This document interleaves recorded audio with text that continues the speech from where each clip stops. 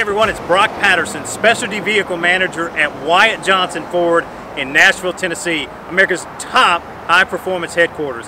Listen, it's Free Fuel Friday. And last week we dropped the exclusive build, the Outlaw WJ750, and the winner is George Arvelo, or George Arvelio. Not really sure, George, but hey, listen, thanks so much for playing along. You are last week's winner. You get a $50 free fuel card. And it's that easy. Today is Free Fuel Friday, so all you have to do is comment below in the comment field, Free Fuel Friday. And each week we select a winner at random and they get a $50 fuel card just for playing along. But listen, this week's video is a 2017 Shelby GT350R in Avalanche Gray, black stripes. It's a gorgeous ride.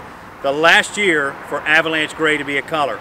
Let us know what you think about that. Should Ford keep the Avalanche Gray or discontinue it?